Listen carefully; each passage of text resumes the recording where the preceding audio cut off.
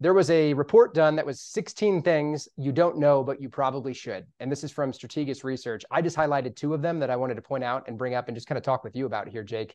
The first one. So hold on. Listed- hold on. These are things you may not know, but probably, probably should. should. What a good title. Yeah. 16 things you may not know, but probably should. Okay. Um, one is that nearly one third of America's outstanding debt, so think the Treasury and the government, matures within the next year and overall marketable debt carrying a weighted average cost of 3.02%. Uh, when I look at this, Jake, this tells me that there we know the government has a lot of debt. We know that governments around the world have a lot of debt.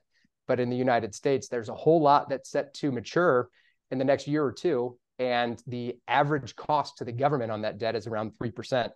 We know where interest rates are at now. I'm just curious, Jake, what's your, do you have an opinion on this? What do you think about this? Because I look at this data and I think if the government continues to spend money at the same clip, that it's going to get very expensive for them to do so because rates are higher. Unless they either have more revenue from taxes or the government is spending less money or interest rates go down. But it seems like one of those three outcomes has to occur based on this. What do you think? Right. I think it's a little scary, Cory. So, like, you're saying that a third of it's going to mature which means they're not going to pay it off. They're just going to refinance it, right, and roll it probably into higher interest debt. Is that what you're saying? Is that what you're suggesting? Correct. So yeah, I, I think that it's long overdue, but there needs to be a, a fiscal overhaul in America's spending. I know the debt ceiling's been raised. So my thought is that probably going to need to be raised again because of this pretty quickly. And so I don't like it. I think if any citizen managed their debt the way America manages their debt, yeah, they'd be in a whole heap of trouble and out of money. But America gets to print the money, so it's not. So yes, I think it needs an overhaul. But I wouldn't as an investor or retiree mm-hmm. or just an individual, I wouldn't be overly concerned about this, even though I don't necessarily like it.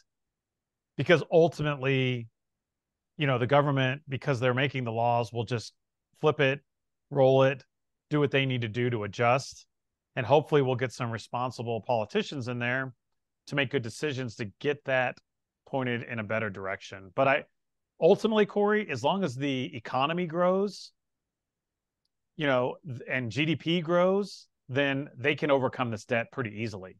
So I, I don't think that it's necessarily tightening the belt that needs to happen. It needs to be robust growth, more people paying taxes, not higher taxes, but more people working, making good wages.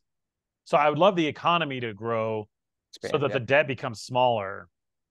But you can't Which do what both. happened after World War II. Right. But what yes. And, and what what has been happening though is both have been growing. So yeah. you need to have some tightening there on the spending, but I'd love to see the economy grow. But yeah, it's it's it's good. It's a scary chart. Do you have a nicer chart to show? What's your second chart? do I have? Yes, I do. Well, I'd nicer. I'll let you tell me if it's nicer. Uh, but I think that this is really helpful for people to see and to understand too, um, because we've talked about this some on the show. Uh, as far as the S and P 500, the stock market in the United States, the top 10 stocks in the S and P 500, which is five, actually 503 companies, I think, uh, have accounted for 96% of the index's returns this year at the end of September. So 96.5% of the S&P 500's returns this year have come from 10 stocks. And the next closest year was 78.7%. And I think this is important just for us to highlight and to talk about because I think it is important for people to understand what makes up the S&P 500 and what drives the returns. But if someone is thinking they're going to be equally diversified across 500 companies in the S&P 500 if they buy an ETF or whatever it may be. I just think it's important to understand that that's really not what's going on. Right. So yes, you have to be careful. I would be very hesitant for any, you know, again, this isn't advice, but don't buy an S&P 500 fund like you just said and think that you're diversified. Basically 10 stocks are carrying that whole index. So my argument Cory is that the S&P 500 probably isn't a good gauge really what's going on in the market anymore.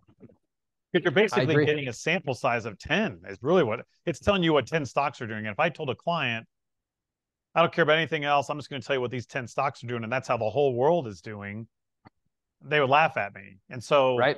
I'm glad you shared this, and, and you're right. And, and we actually take an equal weight stance. And historically speaking, one could argue that equal weight may perform better. Nobody knows the future, so I'm not suggesting we are trying to predict the future with that. But also, we would much rather be equal than cap weighted and risk volatility, more volatility than is necessary. Because again, last year, these stocks drug the market down too. I mean, you could see on your chart 2020 one that long ago when it was driving it in 2007. So you just have to be careful with the S&P 500. Again, it's it, it's something, it's a barometer, but it's not the end all be all of really how the market's doing. I like this chart because it's just telling you how 10 stocks are doing, really. Right. Yeah, but the 97% is such a high percentage. That surprised me when I saw that. Right.